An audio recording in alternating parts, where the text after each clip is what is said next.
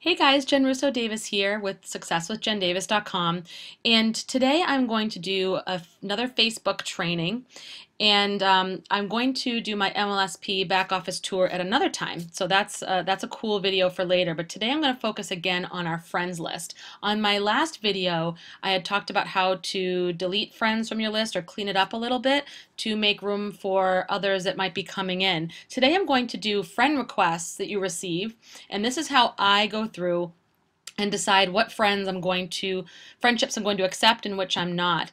And this is not meant to be sort of a snobby thing in any way. When I first started online, I used to basically accept any and all friend requests. And now I've learned that I'm going to get a little bit more picky because I want to save room for those who send me friend requests that are either people that I that I know um, or people that are in the home-based business industry that are looking to share information, to share inspirations, or maybe people that I could help with my products or services. So they might be looking for help from me. So I want to really leave my friends list open for people who connect with me on a personal level. So here's what I do when I look at my friend requests, and I'll open these up. See, one thing I look for is somebody who has mutual friends with me. So I can see that this person right here, Sean, he has mutual friends with me. He has quite a few actually. So in this case, I will accept the friendship request. And, you know, I always go to that person's page and say thank you for the connection. Looks like this person doesn't allow posting on his page. So uh, what I'll do later is perhaps go and scroll through and see if I can comment on one of his posts. But then you have another, here's an example of someone who doesn't have a lot of mutual friends with me. So this person sent a request. And what I'll do is I'll go and look on here and see, um, what I like to look for is do they have a personal picture?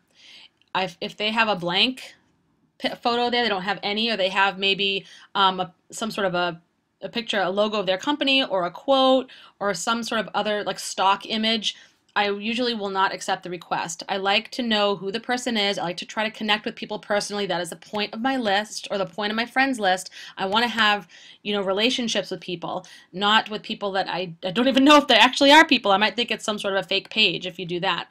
Um, and then I look to see if there's engagement on their page. So I'll scroll down. If this person only has, you know, one mutual friend with me here, I might go down and just check out does this person post pictures or, or statements or questions? Do they have people who respond to them? Is there engagement on their page?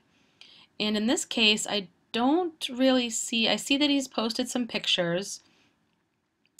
Um, and other than that, though, I don't really see many people interacting with him or him making any um, any comments or saying things. So I don't really know him personally. Of course, this is in a language I don't understand, so I'd have to translate that. So it looks like pictures of maybe throwback pictures of him.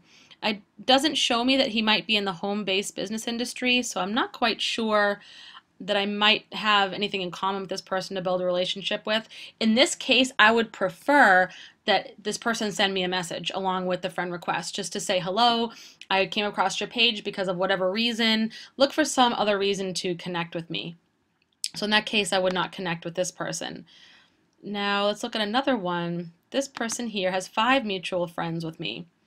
And I can see right away he works at Isagenix, which I know pretty well. So it's someone else who's also, I'm in Purium. So this is also someone who's in the health and wellness business. So that right away is a connection between us. I can see this person has many friends here. Um, so I'm expecting that he's going to have some engagement. So he posts pictures, he has people who respond. So this looks like someone that I'm going to connect with and whoops, confirm.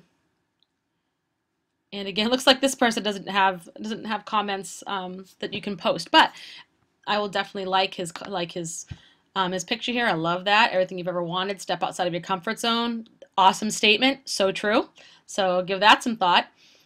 And what I might do is scroll through and then maybe look for something, one of his threads to comment on to really build that relationship because I'm not looking to pitch people. I'm not looking to sell people.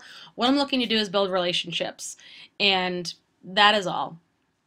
If we end up doing some sort of business together, that's an added bonus, but really it's about building that relationship and getting to know people. So that's what I expect when I go through my friend request. Now, let me just say a disclaimer. If with your friend request, absolutely do what you feel comfortable with. Do what's best for you. This is what I'm saying is not gospel by any means. This is just the method that I use because I really want to be mindful about the friend requests that I accept now. I do things differently than I used to, and I want to do things with purpose and thought. So this is actually how I choose my friends now on Facebook.